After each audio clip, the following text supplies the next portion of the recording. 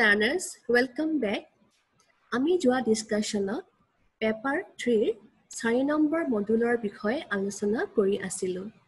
যোৱা ডিছকাশ্যনত আমি এক্সিডেণ্টৰ বিষয়ে আলোচনা কৰিলোঁ আৰু ইয়াৰ টাইপছ আৰু প্ৰিকশ্যনৰ বিষয়ে আলোচনা কৰিলোঁ। আজি আমি এই ডিছকাশ্যনত মেল নিউট্ৰিশ্যন অৰ্থাৎ পুষ্টিহীনতাৰ কাৰ ধাৰণা ইয়াৰ প্ৰকাৰ ইয়াৰ কাৰণ আৰু পুষ্টিহীনতাক কিদৰে জয় কৰিব পাৰি তাৰ বাবে কি ধৰণৰ নিদানমূলক ব্যৱস্থা আছে সেই বিষয়ে আমি আলোচনা কৰিম। লেট ষ্টাৰ্ট প্ৰথমে আমি আলোচনা কৰিব লাগিব কনচেপ্ট অফ মেল নিউট্ৰিশ্যন আমি জানো যে শিশু এটিৰ সৰ্বাংগীন বিকাশৰ বাবে প্ৰথম প্ৰয়োজনীয় গুৰুত্বপূৰ্ণ বিষয়টো হৈছে তেওঁৰ শৰীৰ। এটি শিশু শাৰীৰিকভাৱে সুস্থ হ'লেহে তেওঁ অন্যান্য দিশসমূহ দিশসমূহৰ ক্ষেত্ৰত তেওঁ বিকাশ লাভ কৰিব পাৰিব। গতিকে শিশুৰ স্বাস্থ্যৰ যতন লোৱাটো প্ৰতিগৰাকী পিতৃ মাতৃ আৰু অংগনবাদী কৰ্মী বা পৰিয়ালৰ অন্যান্য সদস্যসকলৰ প্ৰধান কৰ্তব্য। কিন্তু আমি বহু সময়ত দেখা পাওঁ যে বহু সৰু সৰু ল'ৰা ছোৱালী কণ কণ ল'ৰা ছোৱালী পুষ্টিহীনতাত ভোগে। ভাৰতবৰ্ষত এনেকুৱা বহু হাজাৰ হাজাৰ কণ কণ শিশু আছে যি শিশুসকলে পুষ্টিহীনতাৰ বাবে জীৱন তেওঁলোকৰ জীৱন ত্যাগ কৰিবলগীয়া হৈছে বা মাক মাক দেউতাকসকলে তেওঁলোকক হেৰুৱাব লগা হৈছে। পুষ্টিহীনতা আমাৰ দেশৰ দেশৰ তথা আমাৰ বিশ্বৰ এক অতি ভয়ংকৰ সমস্যা। গতিকে এগৰাকী স্বাস্থ্যকৰ্মী হিচাপে বা শিশুৰ শিশুৰ গাৰ্জেন হিচাপে আপোনালোকৰ দায়িত্ব যে শিশুটোৱে উপযুক্ত পুষ্টি পাইছেনে নাই শিশুটোৱে শিশুটিয়ে শৰীৰৰ যত্ন ল'বৰ বাবে যিখিনি পুষ্টি বা খাদ্যৰ প্ৰয়োজন সেয়া পাইছেনে নাই সেয়া চোৱাটো সেয়া সুনিশ্চিত কৰাটো আপোনালোক সকলোৰে দায়িত্ব। গতিকে আমি আহক আলোচনা কৰোঁ যে এই মেল নিউট্ৰিশ্যন বা পুষ্টিহীনতা মানেনো কি? Nutrition is the condition when the child doesn't receive essential nutrients, minerals, and calories which help in development of vital organs in adequate quantities. আমি জানো যে শিশু এটি শাৰীৰিকভাৱে বিকশিত হ'বলৈ হ'লে শিশুটিৰ শৰীৰৰ যি অংগ প্ৰত্যংগ সেয়া আভ্যন্তৰীণেই হওক বা বাহ্যিকেই হওক সেয়া সম্পূৰ্ণৰূপে সুস্থ সেয়া সম্পূৰ্ণৰূপে আৰু সুন্দৰভাৱে বিকশিত হোৱাটো যথেষ্ট গুৰুত্বপূৰ্ণ। কিন্তু মেল নিউট্ৰিশ্যন হৈছে এনেকুৱা এটা অৱস্থা অৰ্থাৎ পুষ্টিহীনতা হৈছে এনেকুৱা এটা অৱস্থা যি অৱস্থাত শিশুসকলে শৰীৰৰ এই অংগসমূহ যিসমূহ অংগ অবিহনে শিশুৰ শাৰীৰিক বিকাশ সম্পূৰ্ণ হৈ নুঠে সেই সেই শাৰীৰিক অংগসমূহৰ উপযুক্ত বিকাশৰ বাবে তেওঁলোকে উপযুক্ত নিউট্ৰিছ নিউট্ৰেণ্ট পুষ্টি মিনাৰেল খনিজ পদাৰ্থ আৰু যিসমূহ আমাক কেলৰিজ লাগে সেইসমূহ তেওঁলোকে নাপায়। আৰু সেইসমূহৰ অভাৱতে তেওঁলোকে পুষ্টিহীনতাৰ দৰে ৰোগত ভুগিবলগীয়া হয়। এতিয়া আমি আহক আলোচনা কৰোঁ মেল নিউট্ৰিশ্যন শিশুৰ ক্ষেত্ৰত যিসমূহ মেল নিউট্ৰিশ্যন বা পুষ্টিহীনতা দেখা দিয়ে সেয়া কি কি ধৰণৰ? প্ৰথম হৈছে আণ্ডাৰ ৱেইট যিসকল শিশু বয়সতকৈ অধিক পৰিমাণে ক্ষীণ বা তেওঁলোকৰ ওজন তেওঁলোকে আহৰণ কৰা নাই সেই শিশুসকল পুষ্টিহীনতাত ভোগে আৰু সেইসকল শিশুক আমি পুষ্টিহীন শিশু বুলি কওঁ। দেন ষ্টাণ্টিং অৰ্থাৎ যিসকল শিশুৰ বিকাশ সম্পূৰ্ণ নহয় তেওঁলোকৰ বয়স অনুপাতে তেওঁলোকৰ বিকাশ সম্পূৰ্ণ নহয়। সেই বিকাশ শাৰীৰিকেই হওক বা মানসিকেই হওক বা অন্যান্য ক্ষেত্ৰত হওক তেতিয়া সেয়া হৈছে এক পুষ্টিহীনতাৰ আন এক প্ৰকাৰ। দেন মাইক্ৰ' নিউট্ৰেণ্টছ আমাৰ আমি জানো যে আমাৰ শৰীৰৰ সম্পূৰ্ণ বিকাশৰ বাবে শিশু এটিৰ শৰীৰৰ সম্পূৰ্ণ বিকাশৰ বাবে বা তেওঁলোকৰ সৰ্বাংগীন বিকাশৰ বাবে বিভিন্ন ধৰণৰ নিউট্ৰেণ্টৰ প্ৰয়োজন হয়। যেতিয়া এই সৰু সৰু সূক্ষ্ম বা বিভিন্ন ধৰণৰ নিউট্ৰনসমূহৰ অভাৱ হয় তেতিয়াও শিশুসকল পুষ্টিহীনতাত ভোগে। দেন ৱাষ্টিং এতিয়া শিশুসকলে অৰ্থাৎ তেওঁলোকে কিছুমান খাব নোৱাৰে বা তেওঁলোকে বস্তুবোৰৰ মানে যি যিসমূহ বস্তু তেওঁলোকক খাব দিয়া হয় তেওঁলোকে সেই সেই সমান সেই পৰিমাণে খাব নোৱাৰে সেইসমূহৰ অনিষ্ট কৰে তেতিয়া সেয়া হৈছে এক পুষ্টিহীনতাৰ আন এক প্ৰকাৰ। গতিকে অংগনবাদী হিচাপে অংগনবাদী কৰ্মী হিচাপে শিক্ষক হিচাপে আমাৰ দায়িত্ব আপোনালোকৰ সকলোৰে দায়িত্ব শিশুসকলৰ শাৰীৰিক যতন লোৱাটো। গতিকে এই মেল নিউট্ৰিশ্যননো শিশুৰ ক্ষেত্ৰত কিয় হয় সেই বিষয়ে আমি জনাটো নিতান্তই প্ৰয়োজনীয়। প্ৰথম হৈছে পুৰ ডায়েট।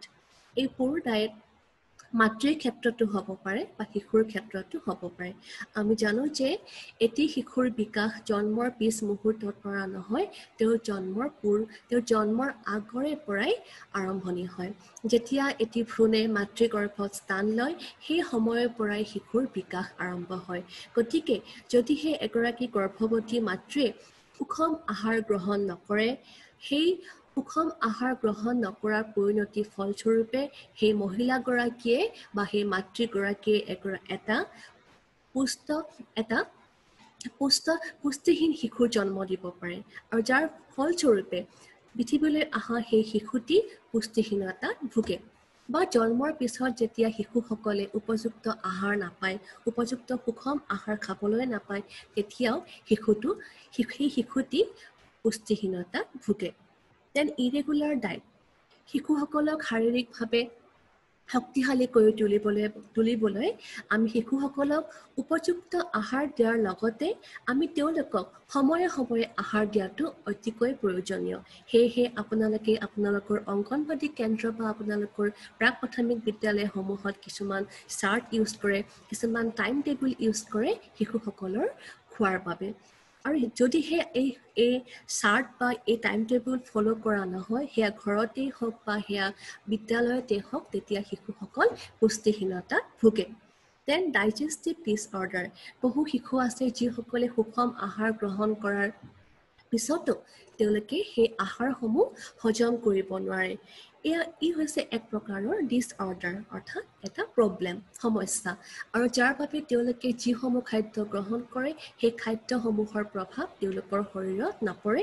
যাৰ বাবে তেওঁলোকে ভিটামিন নিউট্ৰেন যিসমূহ যিসমূহ তেওঁলোকে খাদ্যৰ পৰা পায় সেইসমূহ তেওঁলোকৰ শৰীৰলৈ নাযায়।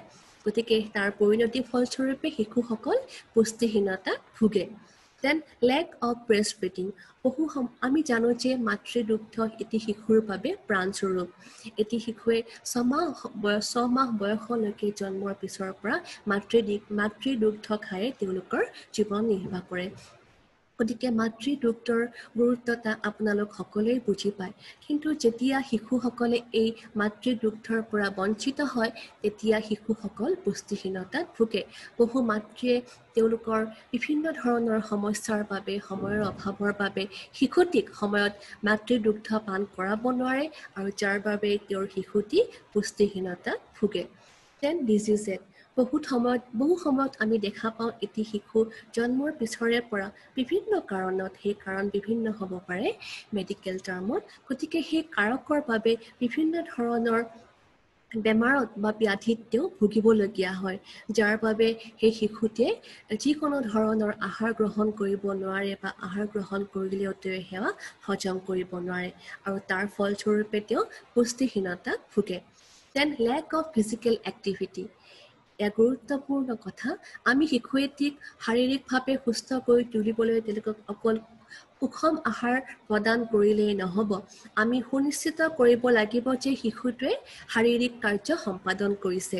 খেলা ধূলা নচা বগা দৌৰা আদি এই এই কাৰ্যসমূহ হৈছে শিশুৰ বাবে শাৰীৰিক কাৰ্য। আমি সকলোৱে জানো যে ব্যায়াম এক্সাৰচাইজ আমাৰ শৰীৰৰ বাবে কিমান প্ৰয়োজনীয়। ঠিক সেইদৰে আমি আমি অকল আহাৰ গ্ৰহণ কৰিলেই নহ'ব আমি আমাৰ শৰীৰটোক সুস্থ কৰি ৰাখিবলৈ হ'লে আমি কিছুমান শাৰীৰিক কাৰ্য কৰিব লাগিব। ঠিক সেইদৰে শিশুসকলো আমাৰ আমাৰ দৰে কিছুমান শাৰীৰিক কাৰ্যত শাৰীৰিক কাৰ্যত তেওঁলোকে পালন কৰিলেহে তেওঁলোকৰ শৰীৰ শৰীৰ সুস্থ হৈ থাকিব আৰু তেওঁলোক এই পুষ্টিহীনতাৰ দৰে ব্যাধ ব্যাধিৰ পৰা তেওঁলোক আঁতৰি থাকিব। গতিকে অংগনবাদী কৰ্মী হিচাপে বা শিশুৰ শিক্ষক হিচাপে শিশুৰ অভিভাৱক হিচাপে আপোনালোকে সদায় লক্ষ্য ৰখা উচিত যে শিশুসকলে এই ধৰণৰ এই ধৰণৰ যি ব্যাধি এই ব্যাধিৰ পৰা সদায় আঁতৰি থাকে আৰু তাৰ বাবে এই ব্যাধি সৃষ্টি কৰিব পৰা কাৰকসমূহৰ পৰা আপোনালোকে সদায় সচেতন হৈ থাকিব লাগিব আৰু তেওঁলোকক উপযুক্ত আহাৰ প্ৰদান কৰাৰ লগতে উপযুক্ত শাৰীৰিক কাৰ্য সম্পাদন কৰাত সহায় কৰিব লাগিব। Then providing basic remedial measures আমি ইতিমধ্যে মেল নিউট্ৰিশ্যন মানে কি পুষ্টিহীনতা মানে কি পুষ্টিহীনতাৰ কাৰকবোৰ কি বা ইয়াৰ টাইপছবোৰৰ বিষয়ে আমি জানিলোঁ। এতিয়া আমি জানিব লাগিব যে যিসকল শিশু পুষ্টিহীনতাত ভুগিছে আমি তেওঁলোকক কিদৰে সহায় কৰিব পাৰোঁ? আমি তেওঁলোকক কিদৰে নিদানমূলক কিছুমান ছাজেশ্যন বা মেজাৰ্ছ দিব পাৰোঁ? প্ৰথম হৈছে হোম ৰেমেডিজ অৰ্থাৎ ঘৰুৱা চিকিৎসা। Consumption of nutritious nutritious food at regular intervals আমি ইতিমধ্যে জানিবলৈ সক্ষম হৈছোঁ যে সুষম আহাৰৰ গ্ৰহণৰ অভাৱেই হৈছে পুষ্টিহীনতাৰ প্ৰধান কাৰক। গতিকে আমি শিশুসকলক সময়ৰ এক এক উপযুক্ত সময়ৰ মূৰে মূৰে সুষম আহাৰ প্ৰদান কৰাব লাগিব। Then ensuring a balance diet for the child যি যিসমূহ খাদ্য খোৱালে শিশুসকল শাৰীৰিকভাৱে সুস্থ হ'ব সেই খাদ্যসমূহনো কি ইতিমধ্যে সেই খাদ্যসমূহনো কি ইতিমধ্যে আপোনালোকে মডুল থ্ৰী মডুল টুত পাই আহিছে। গতিকে সেই সুষম খাদ্যসমূহ সময়ৰ উপযুক্ত সময়ৰ মূৰে মূৰে শিশুসকলে খাইছে নে খোৱা নাই সেই বিষয়ে আপোনালোকে চোৱাটো আপোনালোকৰ প্ৰধান দায়িত্ব। Then following the diet plan suggested by doctor যিসকল শিশু পুষ্টিহীনতাত ভোগে সেইসকল শিশুৰ বাবে চিকিৎসকসকলে বিশেষ কিছুমান খাদ্যৰ তেওঁলোকে প্ৰেছক্ৰাইব কৰে তেওঁলোকে ছাজেশ্যন দিয়ে। গতিকে আমি আপোনালোকে আমি সকলোৱে শিশুসকলে যাতে সেই ডক্টৰে চিকিৎসকে প্ৰদান কৰা সেই ডায়েট লিষ্টখন সেই ডায়েট প্লেন ফ'ল' কৰিব পাৰিছে শিশুসকলক কৰোৱা হৈছে সেই বিষয়ে সুনিশ্চিত হোৱাটো বিশেষভাৱে প্ৰয়োজনীয়। দেন আমি জানো যে আমাৰ শৰীৰৰ বাবে পানী কিমান প্ৰয়োজনীয়। গতিকে আমি আমি যিদৰে পানী সেৱন কৰা উচিত শিশুসকলকো আমি পানী সেৱন কৰোৱাটো উচিত। কিয়নো পানীয়ে আমাৰ প্ৰাণ। গতিকে আমি সদায় লক্ষ্য ৰখা উচিত যে শিশুসকলে তেওঁলোকৰ বয়স অনুপাতে তেওঁলোকৰ যিমান পানীৰ প্ৰয়োজন হয় সেয়া পানী গ্ৰহণ কৰিছে। সাধাৰণতে ডেৰ লিটাৰ পানী শিশুসকলৰ বাবে ডক্টৰে প্ৰেছক্ৰাইব কৰিছে আৰু পিতৃ মাতৃসকলে অংগনবাদী কৰ্মীসকলে বিদ্যালয়তে হওক গৃহতে হওক শিশুসকলে যাতে এই বয়স অনুপাতে এই পানী সেৱন কৰিছে তাৰ প্ৰতি লক্ষ্য ৰখা উচিত। দেন গৃহ চিকিৎসাৰ লগতে যিসকল শিশু অধিক পৰিমাণে পুষ্টিহীনতাত ভোগে তেওঁলোকক চিকিৎসালয়ত ভৰ্তি কৰোৱাবলগীয়া হয়। তেতিয়া কি ধৰণৰ চিকিৎসা বা কি ধৰণৰ নিদান আমি অনু অনুসৰণ কৰিব পাৰোঁ সেয়া জনোৱা হওক। প্ৰথমে হৈছে consumption of medic medication and dietary supplements for the child at regular basis যিসকল শিশুৱে অধিক পৰিমাণে পুষ্টিহীনতাত ভোগে তেওঁলোকক চিকিৎসকসকলে চিকিৎসালয়ত কিছুমান বিশেষ মেডিচিন ঔষধ প্ৰদান কৰে আৰু ডায়েটাৰী ছাপ্লিমেণ্ট যি যিসমূহ আমি খাদ্যৰ পৰা পাওঁ সেইসমূহৰ উপৰিও কিছুমান এক্সট্ৰা ছাপ্লিমেণ্ট প্ৰদান কৰে আৰু সেইসমূহ যাতে তেওঁলোকে ঠিক সময়ে মূৰে মূৰে গ্ৰহণ কৰিছে সেই সেই বিষয়ে আমি সুনিশ্চিত হৈ থকাটো উচিত। Then uses of feeding tubes for kids who are unable to eat on their own আপোনালোকে দেখা দেখা পায় যে কেতিয়াবা বা লক্ষ্য কৰিব লক্ষ্য কৰিছে যে কিছুমান শিশু ইমানেই ক্ষীণ ইমানেই পুষ্টিহীনতাত ভুগিছে যে তেওঁ নিজে নিজৰ হাতেৰে খোৱা বস্তু সেৱন কৰিব নোৱাৰে বা নিজে নিজৰ খোৱাত বটল বা গ্লাছটো উঠাব নোৱাৰে তেতিয়াহ'লে আমি সেইসকল শিশুৰ বাবে কিছুমান ফিডিং টিউবছ আমি ইউজ কৰিব পাৰোঁ যাৰ দ্বাৰা তেওঁলোকে সেই খাদ্য গ্ৰহণ কৰিব পাৰে। Then intensive care and continuous monitoring in the case of severely malnutritious kid এই আমি দেখা পাওঁ যে যিসকল শিশু চিভিয়াৰলি অৰ্থাৎ COVID means they are severely attack অৰ্থাৎ তেওঁলোকৰ যি পুষ্টিহীনতাৰ যি ব্যাধি অতিকৈ তেওঁলোকৰ ক্ষেত্ৰত তেওঁলোকে বিশেষভাৱে প্ৰভাৱান্বিত হয়। গতিকে সেইসকল শিশুৰ বাবে আমি ইণ্টেনচিভ কেয়াৰ অতি সূক্ষ্ম যতন আমি ল'ব লাগিব। আৰু কণ্টিনিউৱাছ মনিটৰিং অৰ্থাৎ এটা বিশেষ সময়ৰ মূৰে মূৰে তেওঁলোকৰ মনিটৰিং কৰা তেওঁলোকক চোৱা পৰিদৰ্শন কৰা কাৰ্য আমি সম্পাদন কৰিলেহে সেই শিশুসকলক আমি পুষ্টিহীনতাৰ ব্যাধিৰ পুষ্টিহীনতাৰ ব্যাধিৰ পৰা সহায় কৰিব পাৰিম। গতিকে শিক্ষাৰ্থীসকল আমি আজি এই ডিছকাশ্যনত পুষ্টিহীনতাৰ বিষয়ে ইয়াৰ টাইপছ ইয়াৰ কজেছ আৰু ইয়াৰ ৰিমিডিয়েল মেজাৰ্ছৰ বিষয়ে আলোচনা কৰিলোঁ।